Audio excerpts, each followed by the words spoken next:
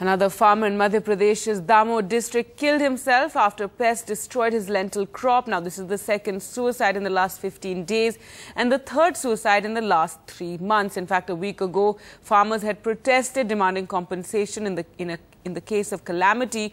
The government had promised action, yet nothing has happened. A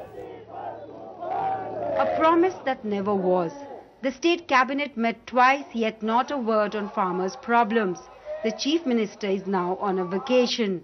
On 22nd December, Chhatarpur's Aman Sahu, along with more than a lakh farmers from across the state, ended their two-day agitation that brought the capital Bhopal to a standstill after the government agreed to compensation for crops damaged by natural calamities. Aman Sahu lost his soybean crop due to lack of rain. Now pests have damaged his arhar and chana crop, but no government survey of the damage so far.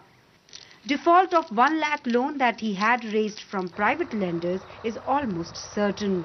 For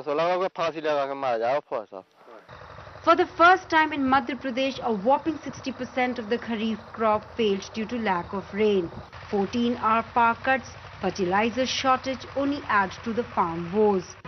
मैं समझता हूँ अति शीघ्र कुछ जो आदेश हैं उन पर निकलना प्रारंभ हो जाएगा आदेश According to National Crime Record Bureau, since 2005, 8,360 farmers have killed themselves. Madhya Pradesh is among the top five states in farmers' suicide. The government has yet to act on its promises.